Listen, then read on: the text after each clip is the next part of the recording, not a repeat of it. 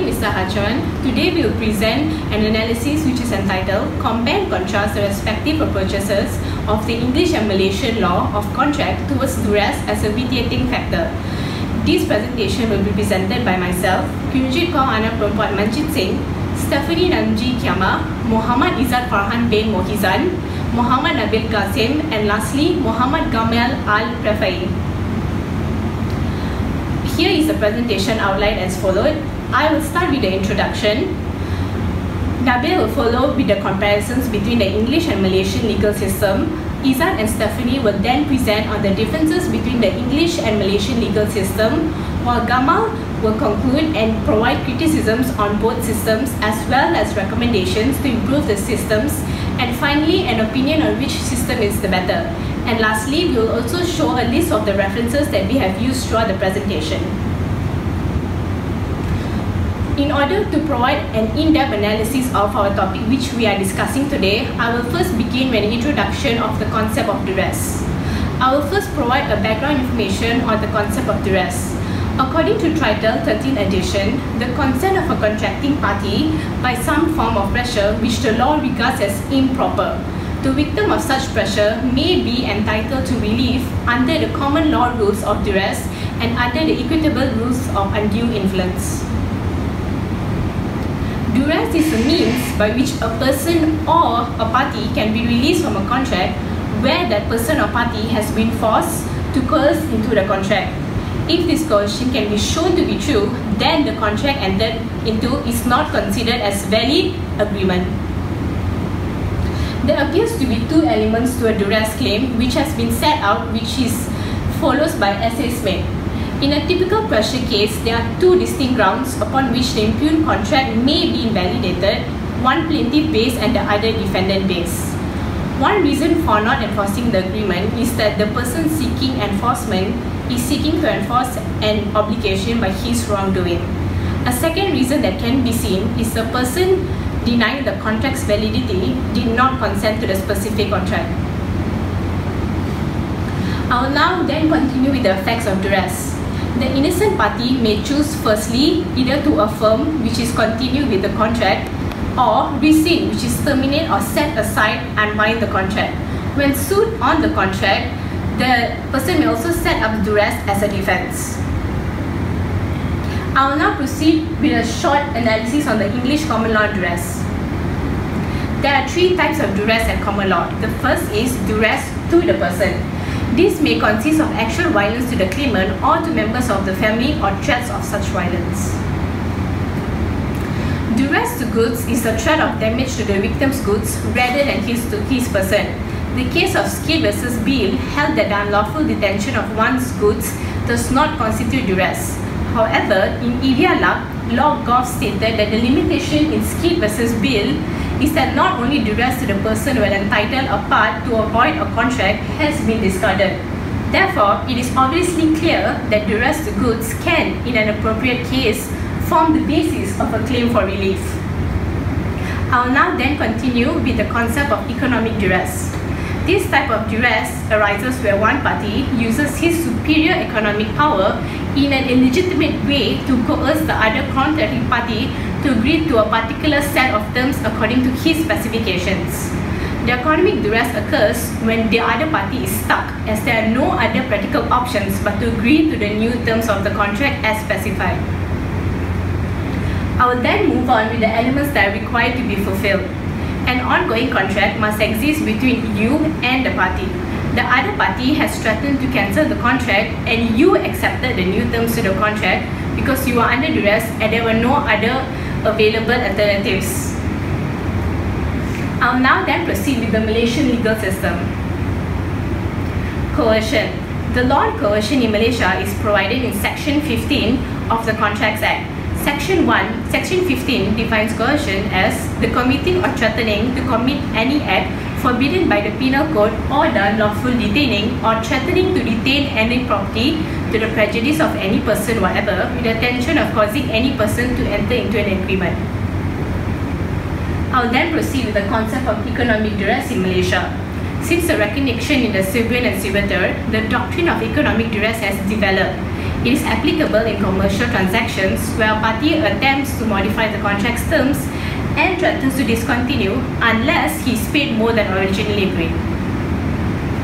However, in the case of Perlis Plantation Berhad versus Muhammad Abdullah Ang, VC George stated that our Contract Act does not provide for any form of coercion other than as defined by Section 15. Later, authorities then appear to recognize the doctrine of economic duress in principle, although on the facts, economic duress was not established. Coercion under Section 73 in the Contracts Act. Section 3 provides a person to whom money has been paid or anything delivered by mistake or under coercion must repay or return it. Section 73 is a restitutory provision allowing a person who has paid money or delivered something whether by mistake or coercion the right to claim restoration of the money paid or item delivered. Um, I'll then move on to Nabil who will then show the similarities of the English and Malaysian legal systems on their approaches to duress. Now I'll be examining the similarities between the English and Malaysian legal approach to duress. The first similarity is the effect of duress and the requirement of free consent. If consent is given, but it is not given freely, although the contract would come into existence, it would be rendered voidable at the option of the innocent party. This is where the innocent party can wish to continue with the contract or rescind it, which would make the contract void.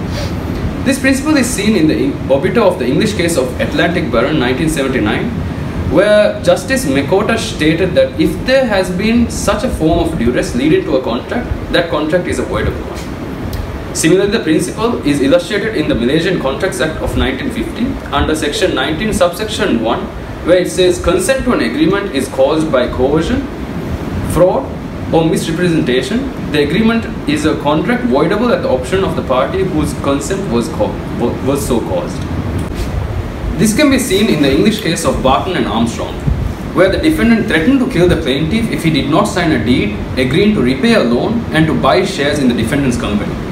Here the courts found the contract voidable, voidable for pressure that the law does not regard as legitimate. On the Malaysian law, we can refer back to the Contracts Act of 1950, Section 50, where coercion is defined as the committing or threatening to commit any act forbidden in the penal code.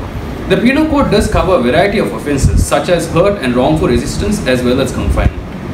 Furthermore, both the systems of law acknowledge the principle of causation this is where the victim must show the link between the alleged duress and his or her entry into the contract. For this point, we can refer back to Armstrong and, and Baron and Armstrong, where the claimant had to establish the causal link between the threat to his life and his spouse and him entering into the contract.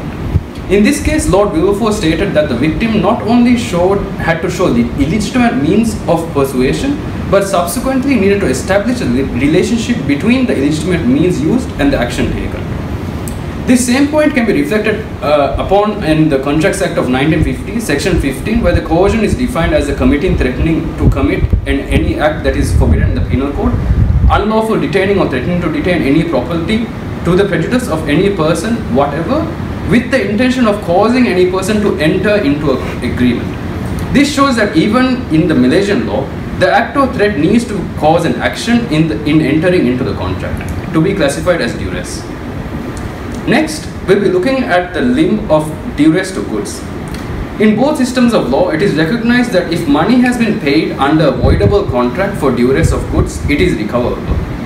The English law approach is seen in the case of Astley and Reynolds, 1731, where the plaintiff pawned goods with the defendant, and the defendant refused to re refused repossession of the goods of the plaintiff and was made to pay an extra interest charge in order to redeem his own goods. The plaintiff sought recovery for the extra paid and argued that the contract pursuant to the payments was voidable and successfully recovered the money. Similarly, Section 73 of the Contracts Act of 1950 provides a provision where any money has been paid or anything delivered by mistake or under coercion must repay or return it. Here it is important to note that Section 73 coercion is interpreted in a general and in its general and ordinary meaning, resulting in a wider interpretation compared to the coercion defined in section 15 of the Contracts Act. A Malaysian case to illustrate the point of money paid under avoidable contract is recoverable, we can turn to the case of Chin, Chin Nam Bee Development and Tai Kim Choo, where the plaintiff signed a sale and purchase agreement which the defendant threatened to cancel if he does not pay an extra 4000 ringgit. The plaintiff paid and subsequently sought recovery under section 73 which was successful. The final similarity we'll be looking at is the remedy for duress available in both Malaysian and English system. There exist three forms of remedies available, which are rescission, restitution, and duress as a defense. Firstly, the equitable remedy of rescission is available, where the innocent party can choose to continue or set aside a voidable contract. This is seen in the case of Adam Opel GM, GmbH and Mitras Automotive UK. The defendant, a van-pass supplier, threatened to terminate supply contract with the claimant, a van manufacturer, if the claimant did not pay extra. The claimant protested but paid the amount and subsequently sought recovery for, for what he had lost. And it was held that the claimant eh, was entitled to rescind the varied contract as the contract was voidable for economic duress. The same remedy of rescission is available in the Malaysian law under section 19 subsection 1 when consent is when consent on agreements is caused by coercion, fraud or misrepresentation, the agreement is a contract voidable at the option of the party whose consent was was so caused. Here Again, it is important to note that although the remedy available in both the both systems, there exist certain situations where the right to rescind might be lost in both the Malaysian and English legal systems. These general bars of rescission are 1. The affirmation of contract by the innocent party 2. A bona fide purchaser acquiring the matter before the rescission 3. There is a delay between the knowledge of a vitiating factor and the action to rescind it and finally, where restitutio in integrum is not possible. The second remedy that is available is restitution. This is where the courts try to return the parties back to their original positions. In the English case of Universal Sentinel, Lord Diplock stated that the remedy to which economic duress gives rise to is not an action for damages, but an action of restitution of property or money exacted under such duress and avoidance. Similarly, the remedy of restitution is available in the Malaysian law under section 66 of the Contracts Act 1950 where an agreement is discovered to be void or when, an or when a contract becomes void, any person who has received any advantage under the agreement or contract is bound to restore it or to make compensation for it to the person from he, whom he received it. Section 66 therefore acts as a restitution provision where the benefits received are returned and compens compensation is made if necessary. The third and final remedy available in both the systems is duress as a defense when sued on the contract the innocent party can opt not to take any action and rely on defense of duress if litigation arises. The English case on point is the case of B&S contracts and Victor Green publications, where the claimant informed the defendant that the work being done under an existing contract could not continue as he had no more funds to pay for his workers. When the defendant offered to lend some money, the claimant refused and explained clearly that unless the workers get paid, the claimant would not fulfill the contract. The defendant paid the wages and deducted it from the contract payable to the, to the claimant. When the claimant brought the claim, the court recognized that there was no practical alternative for the defendant and that economic duress was existent and therefore the deductions were not recoverable. The same point of defense of duress was addressed by Justice Loh Hock Bing in the case of OCBC Securities and Ko Ki Huat where he stated that the defense of duress or economic duress must be such so as to vitiate the free consent in order to render the contract void. Now having examined the similarities of the two approaches, Izzat will proceed to illustrate the difference between the Malaysian and English approaches to duress. Now we will be going through the difference, uh, differences between the English and the Malaysian legal systems. Now first things first, Coercion is provided under the Malaysian legal system under uh, in Section 15 of the Malaysian Contracts Act, and it is uh, notable that it's not the same as duress under common law. Section 15 is wider in that it covers the unlawful detention of property. Common law of duress, however, only recognizes actual or threatened violence to persons and threats to a property were held to be insufficient to amount to duress. Now, there are two approaches to the concept of duress. The first would be the overborne will theory, and the second would be the illegitimate pressure theory. The overborne will theory was practiced in both England and Malaysia. However, in modern times, English courts are moving away from it in favor of illegitimate pressure theory. Today, overborne will theory is primarily followed by Malaysian courts and not English courts. If under overborne will theory, the focus is given to the consent of the will of the victim and steps are taken to objectively see whether or not the individual had indeed consented to the contract. Now, under illegitimate pressure, this approach questions whether or not the pressure applied to an individual was legitimate or not. If the pressure is legitimate, as in the case of R versus the Attorney General of England and Wales in 2003, where it concerned the case of an SAS soldier who was forced to sign a confidentiality agreement between him and the Ministry of Defense. In this case, it tells us that the nature of the demand has to be questioned. Thus, it can be said that the Privy Council has established a two-stage test for illegitimate pressure. The first issue was whether or not the threat was legitimate in the eyes of the law, whether it was legal to give the threat. Secondly, the justification behind the threat must have been adequate. If, for example, the threat was to for was for unjust enrichment, the, the justification was inadequate and thus it can be seen that the that there was indeed pressure uh, illegitimate pressure applied. Now, what constitutes as illegitimate? The case of DSND Subsea Ltd versus Petroleum Geoservices in ASA in 2000 has laid out what the courts would consider whether pressure was illegitimate or not. This includes actual or threatened breach of contract, whether the accused had acted in good faith, good faith or not, whether there were practical alternatives, presence of protest, and if the individual had indeed affirmed and sought to rely on the contract. Thus, tri- thus crimes and thoughts are completely regarded as illegitimate. An unlawful goal as, would also be illegitimate as per the Universal Sentinel and the and with the obiter in R Attorney General. The courts have stated that the more serious the impropriety and the greater the moral obliquity which attaches the, to the conduct, the more likely the pressure is to be seen as illegitimate, as seen in the prog uh, Progress bulk carriers and the Tube City. Now, the next thing will be economic duress. Malaysia appears, appears to affirm all three types of duress, while not expressly recognizing economic duress. The case of OCBC Securities Malacca, SDN BHD, and Koh Ki Huat in 2004 the judgment delivered, uh, delivered stated that our courts have been slow to import the concept of duress as defined under Section 15 or to import the concept of economic duress unless there is positive evidence to that effect, which must satisfy the guidelines given by the Privy Council in the case of Pao On. Thus, it would appear that once a case that would feature the facts, but uh, would feature facts that would uh, satisfy the English principles of economic duress, Malaysia would indeed adopt economic duress through case law, if not through legislation. However, it must also be noted that these judgments were delivered from the High Court. It is unknown what the higher court, such as the Court of Appeal or the Federal Court, would make of this, of this uh, judgment. Now, remedies. Remedies is a form of court enforcement of a legal right resulting from a successful civil lawsuit. Damages are monetary compensation for the plaintiff's losses injury, or pain, while coercive measures require a party to do or omit using a specific act through injunctive relief.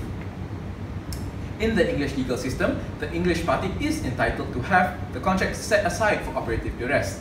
The victim may rescind the contract and may also choose to raise duress as a defense. However, if a victim rescinds, the right to rescind is lost forever. However, in the Malaysian legal system, under Section 65 of the Malaysian Contracts Act 1950, the other party is excused from further performance and the rescinding party will restore any benefits received under the voidable contract. The effect of rescission under Section 66 of the Contract Act 1950 is that the contract becomes void and the party receiving any advantage must restore any advantages received or if in the case where that is not possible, make a compensation for it. My colleague Steph will go on clarify Malaysia's approach to duress. We will now move on to look at more distinctions of duress between the common law system and Malaysia. We'll start off with Malaysia. Now, it's already been established that in Malaysia, duress under Section 15 covers a wider range of issues as opposed to duress in the common law. However, Hussein makes a notable distinction between the two jurisdictions, which is that of prejudice can be made to any person. Now, literal interpretation of this means that unlawful threats can be administered to the plaintiff himself or to any party. They need not be a pre-existing relationship, be it friendship or family.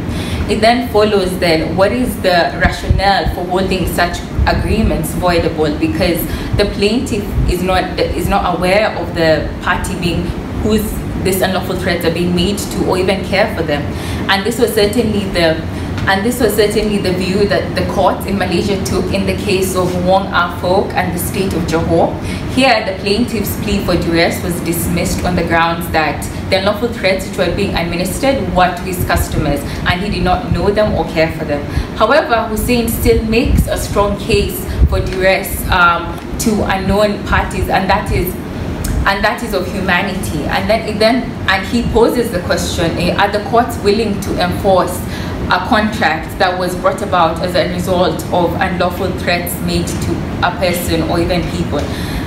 The second distinction is that of intention, and we, the general rule in, in the English legal system is that is that um, intention does not need to be proved. That once uh, the plaintiff has established that uh, illegit illegitimate pressure has been administered, that is enough for a plea of duress. However, in Malaysia, again following the literal interpretation of Section 15, requires that um, intention be proved.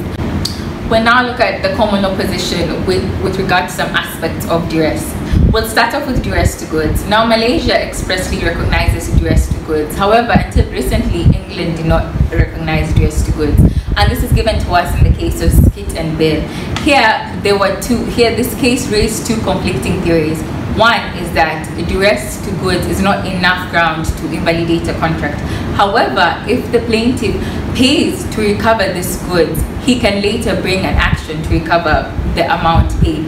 However, if the defendant can establish that there was enough, um, there was enough consideration, then the plaintiff's claim will be dismissed. Now, clearly, this is a controversial area of the law regarding the fact that the general rule that guides consideration is that consideration needs to be adequate and not sufficient. Thus, it was done away in the case of Universe Sentinel the second distinction is that of the overborne will theory. Now, Malaysia still adopts this system, however, common law has slowly moved away from this. And Stewart seeks to explain why this shift is justifiable. And he states that the overborne will theory, with regards to economic duress, is not practical. This is because most commercial agreements do have some element of intense commercial pressure, and therefore the courts allowing for such a claim for contracts to be opened on the grounds of um, the plaintiff's will being overborne, uh, the plaintiff's will being overborne simply out of intense commercial pressure is not practical. The next uh, criticism that justifies the need for a change is that where uh, it comes from Chew and it's that where the traditional approach once again centers, centers on the victim's will and his consent um, and his consent not being a true consent for he's no longer operating as a free agent. However, Cho notes that this is not necessarily true because if this were true, then all then all contracts which were induced by duress would be void and not voidable. And he states that um, certainly the will of the plaintiff has been impaired, but it's not negated. Atiyah seeks to further elaborate on this by stating that the overborne will theory implies the notion of automatism, where the plaintiff himself has been stripped of, of all reasoning or understanding, which, as we've established before, is not true. She, she insists that, uh, in fact, the plaintiff is aware of all uh, of the current circumstances and is aware of the consequences of choosing whether to consent or not to consent. Therefore, the final consent given is actually a voluntary one and it's a conscious one. Now, another distinction is that of illegitimacy, which the common law recognizes and Malaysia doesn't. Now, um, common law states that the general rule is that one will not be liable for duress if the threat made was within one's legal rights. However, the case of the Universe Sentinel seems to suggest that even lawful threats can be illegitimate. Here, judgment delivered establishes that the first step in, in determining legitimacy is to look at the nature of the threat, which in most cases is usually sufficient. However, if, um, however, if the threat was lawful, the second step is to look at the nature of the demand that accompanies that threat.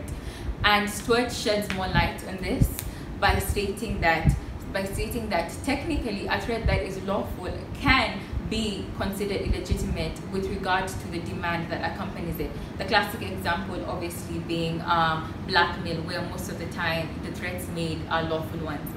he states that um, actually lawfulness should not play a role at all with regards to determining illegitimacy because um, a threat made in the commercial world can be as coercive as an unlawful one. The final distinction is that of a causal link. Now, in the common law, um, as by the case established in Barton and Armstrong, it was established that a claim for duress, you need only to show that it was a cause that induced um, the victim to enter into the contract. However, in Malaysia, under Section 14, literal interpretation seems to imply that it needs to be the sole cause. And um, Stewart is in favor of the Malaysian approach, stating that economic duress, with regard to economic duress, stating that if courts were to allow claims, um, commercial claims, simply simply out of uh, a causal link of being induced into the contract out of commercial pressure, it, the courts would be encroaching too much into the financial world. And he states that um, the rules stated in Barton and Armstrong should be limited to duress to person. Now that you have known about duress under English law by my colleague Stephanie, now let's criticize the doctrine of duress under the English legal system. It is suggested that duress provide the defense to many crimes except murder. There has been general acceptance that threats of immediate death or serious personal injury are sufficient to overwhelm ordinary powers of criminal conduct where the crime comprises, for example, manslaughter, damage to property, and even some forms of treason. The recent formulation of the defense of duress of circumstances has resulted in explosions for defendants charged with, for instance, again, various road traffic offences and even hijacking. However, the availability of duress as a defense has always been restricted, and in particular, the inadmissibility of the defense to, a charge of murder has caused much contentions. As suggested by Lord Scarman in the case of Universe Tank Ship 1983, nature of the act or the omission threatened by the coercion will decide the legitimacy of the pressure. Nevertheless, in some cases, a threat to something cle clearly lawful can make the threat legal as a result of the circumstances of the demand. Therefore, concentrating on the illegality and legality of the threatened act of omission will form an artificial barrier which produces absurdity. The court should have freedom to accept in appropriate circumstances the legitimacy of pressure regardless of its unlawful nature. The emphasis of the need of, to, to form an illegitimate threat has led us to the conclusion that the threat to break a contract can constitute duress, whereas the refusal to waive an existing contractual obligation cannot. Therefore, by introducing the need for a legitimate threat could be tough to practice in this use. Secondly, one of the most continuous issues is whether or not the party who has extended the pressure was threatening to cancel the contract or he was entitled to make the demand which he was making in early stage. Thirdly is the fact that duress makes a contract voidable rather than void as the consequence that it is necessary for the party alleging duress to steps to set aside the agreement. Lastly is more of a failure to take steps against the contract within reasonable time might turn out the agreement is valid and can no longer be set aside. That we had criticized duress under English law, let's criticize the doctrine of duress under the Malaysian legal system itself. Although coercion under the Malaysian law is wider than common law due to the fact that every offense under the penal code can amount to coercion, yet Malaysian law does not cover all the torturous or other civil wrongs covered by the common law, making it a bit narrower at some contexts. The conflict on economic duress under the Malaysian law is another issue as it's wide and obvious. Economic duress is not explicitly stated in section 15 of Contract Act of 1950 as the definition of coercion is very limited in that sense. The High Court held that the Contract Act of 1950 does not provide for any form of coercion other than as defined by section 15 itself as it was seen in the case of Perlis Plantations Berhad and Muhammad Abdullah of 1988. Econ and lastly, economic duress is recognized in principle but was not established in cases at all. So now that we had criticized both systems on duress, now let's get, suggest how to improve those systems. Firstly, we will talk about ways to improve the position of the English legal systems on duress. Due to the ambiguity that exists in some areas of economic duress, in cases of duress to goods, no precise guidelines are exist at all. What can be merely stated is that if a set remedy is to be established by law in relation to duress of goods, it should be narrow and must be based upon a much more limited basis than the cases which involves the duress of the person.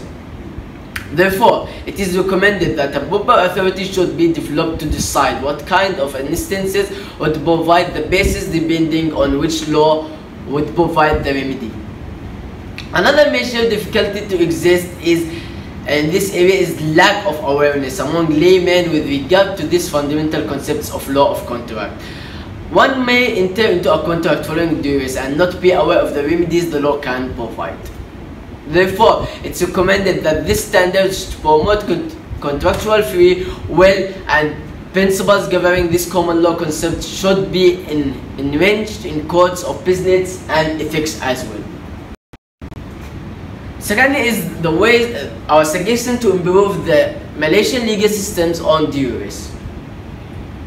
All the duress under the Malaysian legal system is covered by all the crimes in the penal code, yet it fails to consider many other offences outside the penal code as well as torturous uh, or other civil wrongs which are covered by the common law already.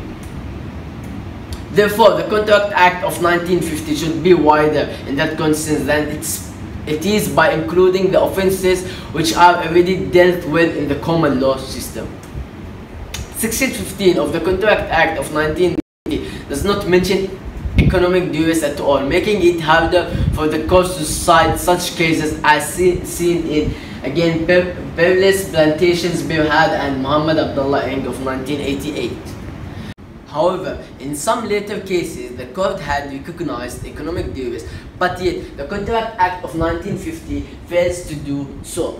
So it would be better, even more liable for the courts uh, to, uh, uh, for the courts if the Contract Acts of 1950 to be am amended and include the doctrine of economic duress.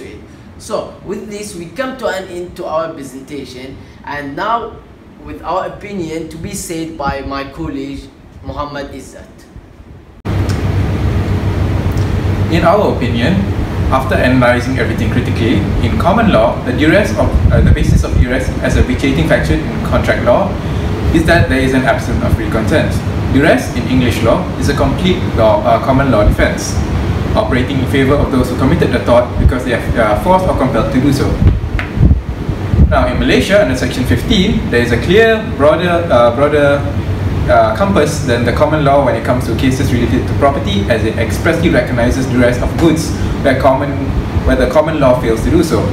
However, it will be more reliable for the courts if the Contracts Act of 1950 expressly states economic duress. In a nutshell, it is clear that the English legal system is much better than the Malaysian legal system because it is much more detailed on the doctrine of duress. However, things may change in the future as, as uh, compared to the English uh, legal system, the Malaysian legal system is still considered in its infancy. Things may change or may improve in the future. With this, we have come uh, to a conclusion on our video presentation.